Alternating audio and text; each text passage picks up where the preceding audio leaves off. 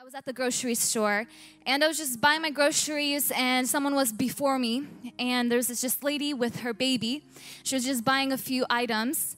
And as I was just there waiting, I began to just watch how they were taking a long time. And I noticed that her transactions weren't going through.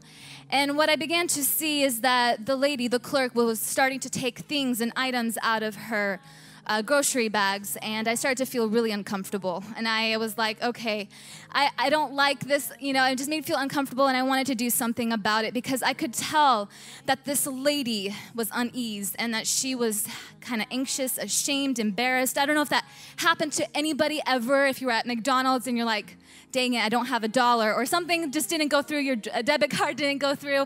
Whatever it is, we've all maybe have come in that situation where we just didn't have the money. So what I did is that I stepped in and I said, I would like to pay for you. And she said, and she completely refused right away and said, No, no, no, no, that's okay. And I and I looked into her eyes with like tears in her eyes, and I said, Please, let me help you. Let me do this for you, okay? I know this is uncomfortable, but I just want to bless you.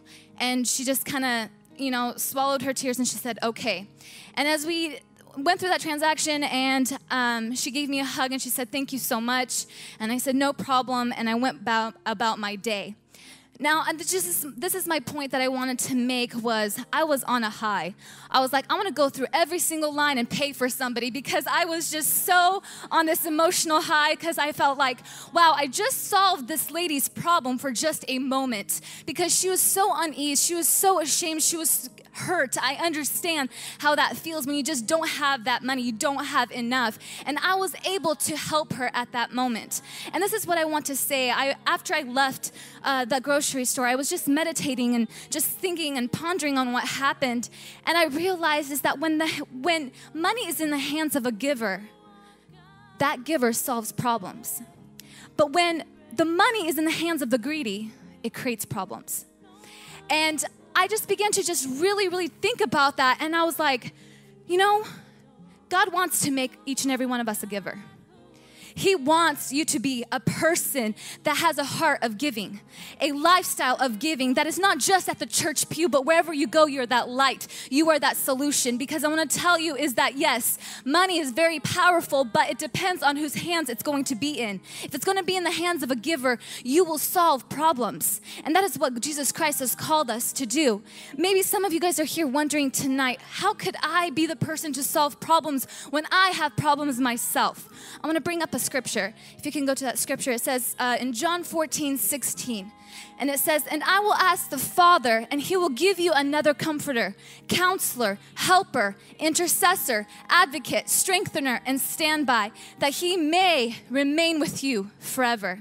Now, I want to focus on just one word, one trait of what Holy Spirit is, and that is a helper. If you can go to the next slide, is that a helper is a person or thing that helps or gives assistance or support. So, I want to tell you is that when you this evening connect yourself to the Holy Spirit, and that is through tithing and that is through offering, when you give that moment and say, God, I trust you with this, you come into partnership.